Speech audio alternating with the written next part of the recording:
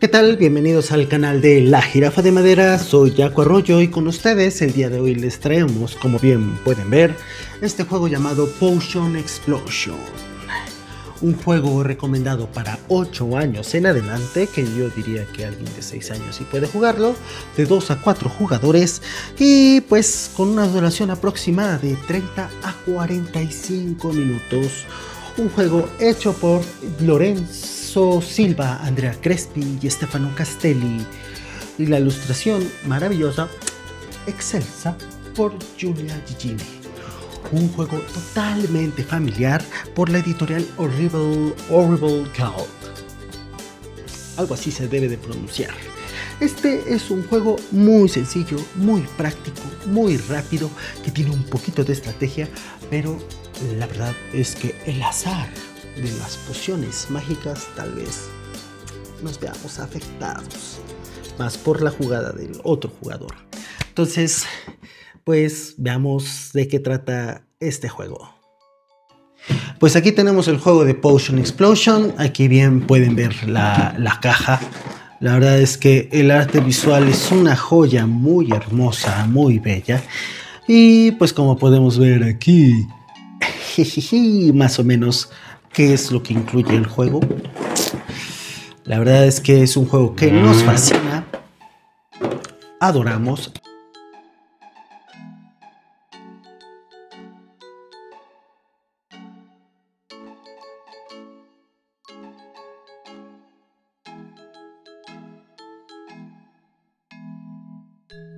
Bien, tenemos aquí nuestro bello tablero, nuestra bella instalación. Em, es importante notar que el jugador número uno va a ser quien, quien haga el servicio de un té que haya preparado una bebida o algo por el estilo, o bien de forma aleatoria. En la mesa escojamos quién va a ser el jugador uno. Este, las pócimas que podemos escoger son seis de las 8 que están disponibles en este juego, solo 6.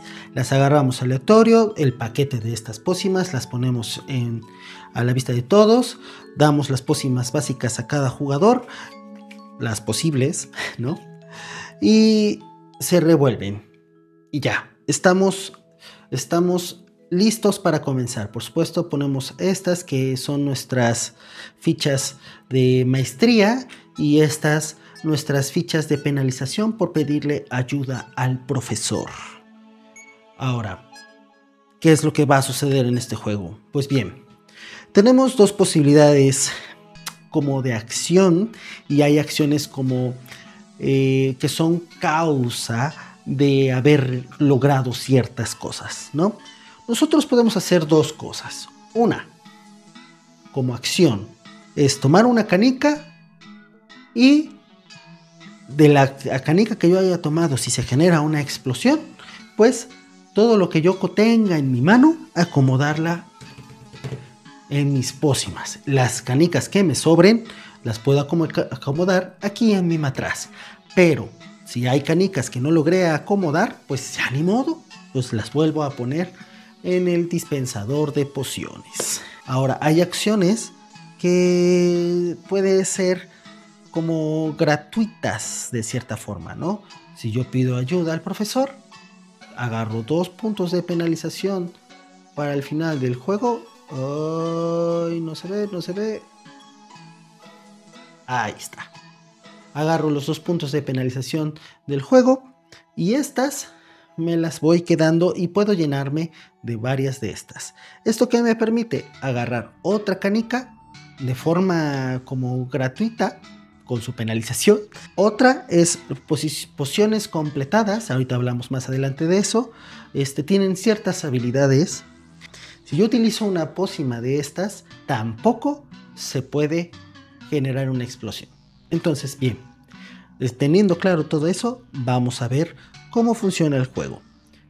La mecánica es muy sencilla. Yo puedo agarrar una ficha, una canica de estas y generar una explosión. ¿Qué es una explosión? Canicas del mismo color que choquen entre sí. Eso es una explosión. Bien, por ejemplo, yo puedo tomar, acá tenemos, vamos a contar las filas, 1, 2, 3, 4, 5, 6, 7, 8. Hasta la octava fila puedo tomar canicas. La novena que se esté asomando aquí, no puedo agarrar de ahí y sacarla. No, no, no, no, no, no. Por ejemplo, acá tenemos una acción posible. Yo si agarro esta ficha roja, voy a generar una explosión. Estoy viendo que tengo amarilla y amarilla. Agarrar esta. Entonces, esta canica se va a mi mano. Como bien pudimos ver, estas chocaron. Agarro todas las amarillas que chocaron. Y hasta ahí. No hubo más explosiones. Aunque chocaron otras canicas, no fueron del mismo color. Entonces, ahora, este es mi turno. Yo en mi turno voy a acomodar estas canicas súper poderosas en, como siendo jugador 1, la voy a acomodar donde yo quiera y pueda en mis pociones. Entonces, en este caso, estas dos canicas no pueden entrar ni aquí ni aquí, porque lo acomodo en mi matraz. Y ya, ese es mi turno. Ahora bien, yo podría decir, bueno, pido la ayuda del profesor, agarro la ficha esta que, que mencionábamos hace rato, que es la ayuda del profesor, este, y que me da una penalización al final del juego y me da menos dos puntos. Entonces podría yo ir directamente a agarrar una canica del color este, que quiero. Por decir, vamos a generar una explosión. Ah, no, perdón. Agarro una canica negra, pero no se genera explosiones. Por lo tanto, puedo irme por esta ficha negra y la, como, la acomodo aquí. Eso forma parte de como una acción gratuita con su penalización. Vamos a decirle gratuita con penalización. Esta pócima ya la completé. Toda pócima que complemento, la volteo, la pongo a disposición, aquí volteada, y las canicas las regreso al dispensador. Y es todo. Entonces, ahora, en este mismo turno, puedo ocupar la habilidad de la ficha, de la pócima. Pero pero no hemos dicho de qué, hace cada, cada, habilidad. Eso lo veremos. Ahorita lo importante es cómo funciona el juego. Agarro canica, todo lo que consiga la pongo en la mano, de la mano lo acomodo en mis pócimas y ahí termina. Digamos que es el turno del jugador 2. El jugador 2 pues también está jugando con casi los mismos colores que el jugador 1. Entonces, pues, pues puede buscar rojo, azul, negro, amarillo. Entonces, pues podríamos jugarle como a, a una pócima de estas. Digamos que de las que más necesitas son amarillas y negras. Negras puede ser. Entonces, por ejemplo, puedes hacer una explosión de las canicas del mismo tipo. ¡Pum! Ahí chocaron dos negras y chocaron tres rojas, tres amarillas. Y a la vez chocaron todas estas rojas. y chocaron las azules. Todas estas canicas las voy a acomodar. Ahora bien, el jugador 2 tiene todas estas canicas. Estas las va a acomodar. Agarró muchísimas en nuestra cadena de explosiones y como podrán notar el dispensador se vació. Pero bueno, no importa. Tiene que acomodar las más posibles que pueda.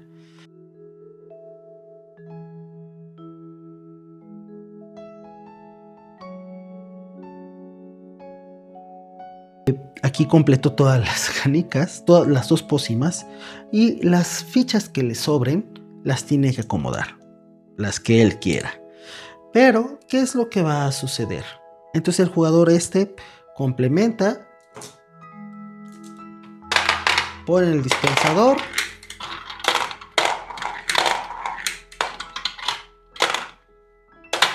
a la más cercana, esta también la completó. Salen volando todas las canicas.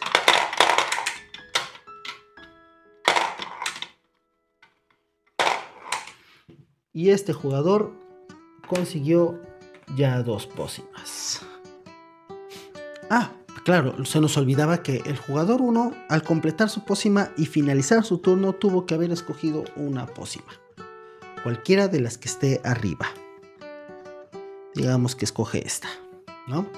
El jugador 2 pues ya finalizó su turno, nos saltamos esa parte, bueno, ahí hubo una confusión, pero pues él, él quiere jugar a la maestría de las pócimas. Vamos a decir que juega con esta.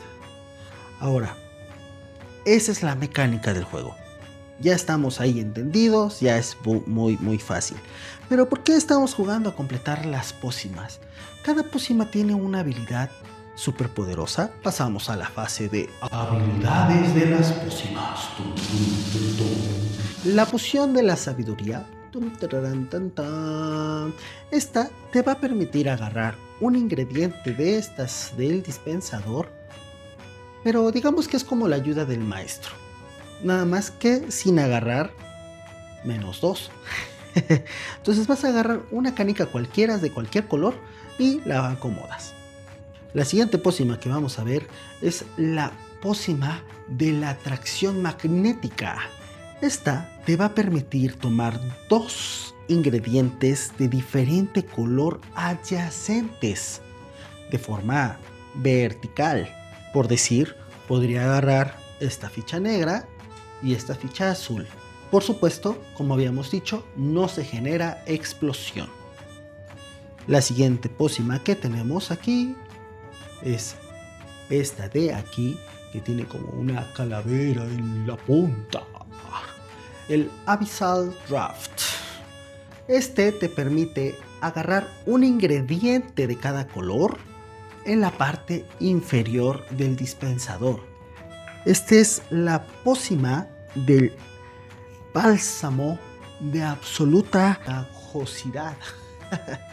Esta te va a permitir agarrar, agarrar absolutamente dos o más ingredientes adyacentes del mismo color, obviamente de forma vertical. Por decir, podríamos, si ocupáramos esta pócima, podríamos agarrar estas tres del mismo color. Tienen que ser adyacentes. El elixir del amor ciego.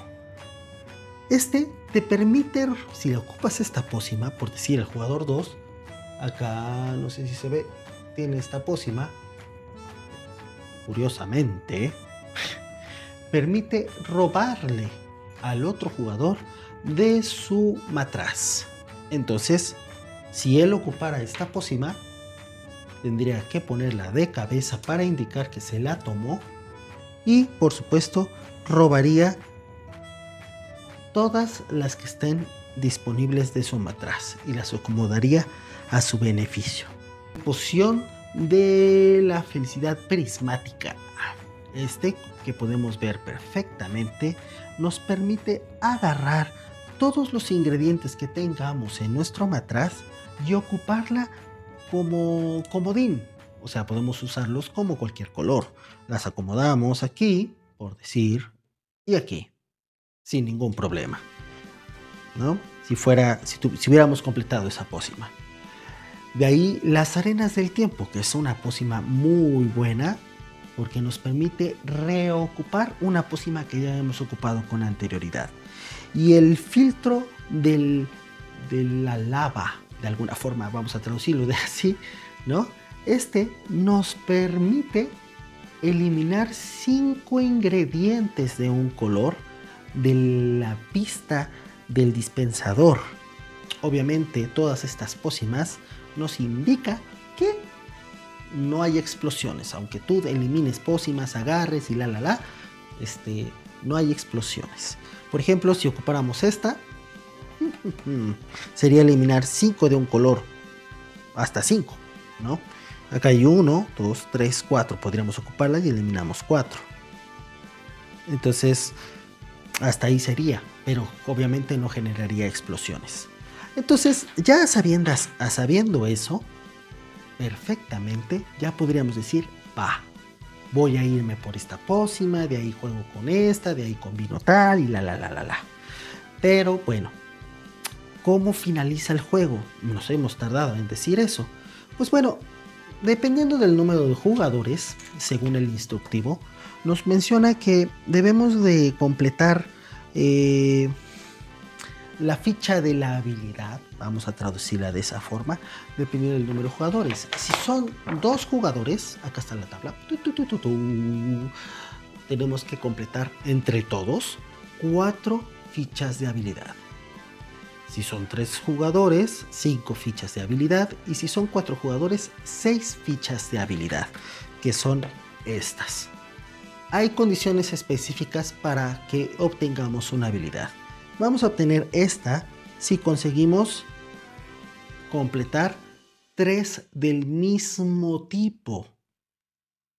Tres del mismo tipo. Y por supuesto, la ficha de habilidad nos da cuatro puntos al finalizar el juego.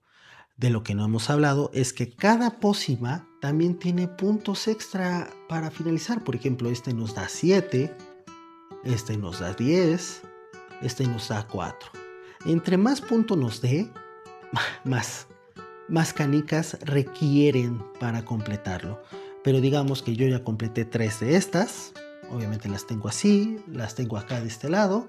Y eso me va a permitir tener este, una ficha de habilidad. Pero es importante decir que solamente son tres del mismo tipo. Si yo completo seis de este mismo tipo, ya no voy a obtener otra. Siempre es la primera vez que consigo de un tipo de pócima. Entonces hay que ir rotando de pócimas, conseguir tres de otro tipo y conseguir otros tres, ¿no? Y así. Otra posibilidad para conseguir la ficha de habilidad que estábamos mencionando es la superpoderosa ficha, bueno, más bien conseguir cinco combinaciones. De, de las seis, conseguir, por ejemplo, esta, esta, dos, tres, cuatro y cinco. Digamos que ya completé todas estas las tengo de este lado volteadas, completadas y, y, ya tengo la variedad de 5 de 6 voy a conseguir una ficha de habilidad. Al finalizar el juego, bueno, va a finalizar el juego en, esa ronda. Entonces, quien acabó ese turno, ya acabó. Y va a permitir que todos los demás jugadores terminen su ronda para ver si pueden conseguir llenar más pócimas y de repente se vuelve un juego muy competitivo y de mucho mucha cuestión frenética, ¿no? Eh, y ya, pues eso sería Potion Explosion. Es importante, este, ya de ahí pues terminas y pues sumas cuántos puntos hiciste. Puedes llegar a 80, 90 puntos, pero pues, si dependiste mucho de la ayuda del maestro, pues bueno, vas a tener puntos menos. Pero la verdad es que ayuda mucho para, para generar el ambiente de explosiones. Como todo esto es de forma aleatoria, puede suceder que no esté las canicas acomodadas al 100% para nuestra, nuestra queridísima explosión. Pues bueno, esta es la explicación de Potion Explosion. La mecánica no es tan complicada. Tal vez un poquito tardada la explicación, pero podemos ir resolviendo poco a poco el juego. Yo recomiendo como que explicar cómo funcionan las pócimas, ir agarrando las fichas y poquito a poquito este juego sí nos permite como vamos viendo conforme avanza el juego, ¿no? Haciendo el ejemplo. Pero bueno, esa es la explicación del juego y esperemos pues lo hayan disfrutado y pues pasamos a la siguiente fase del video. Pues ojalá les haya gustado la explicación de este juego llamado Potion Explosion. Un juego que la verdad nosotros nos encanta. Ya, lo, ya teníamos años de haberlo jugado. Ya tiene también sus años este juego. Tiene una expansión que la verdad es que... Bueno, yo he tratado de conseguirla. Dos expansiones. Y no me ha sido fácil conseguirlo. El juego base sí lo pueden conseguir en su plataforma favorita sería Amazon, Mercado Libre, este, no lo sé, cualquier este, plataforma o su tienda de juegos de mesa que también tienen este conocimiento de, de dónde conseguirlo. Entonces, pues la verdad es que nosotros se los recomendamos. Es un juego que 10 de 10 para la familia. Para estas fechas de navideñas que ya pasaron, pues bueno, pues viene Semana Santa. Em, y si estamos en una fecha antemporal, ahorita que tú nos estás viendo en otra, en otra fecha, pues la verdad es que en una noche de juegos este puede funcionar muy bien. No, no, no puedo decir más porque nos fascina. Entonces, poco a poco iremos subiendo más videos de juegos diferentes. Comenten, suscríbanse, denle me gusta, compartan, recomiéndonos con sus amigos, sus hermanos, de boca en boca. Este canal va haciendo más grande y pues esperamos seguir con ustedes más adelante. Aquí Jaco Arroyo, me despido de ustedes. La jirafa de madera. Adiós. Potion Explosion.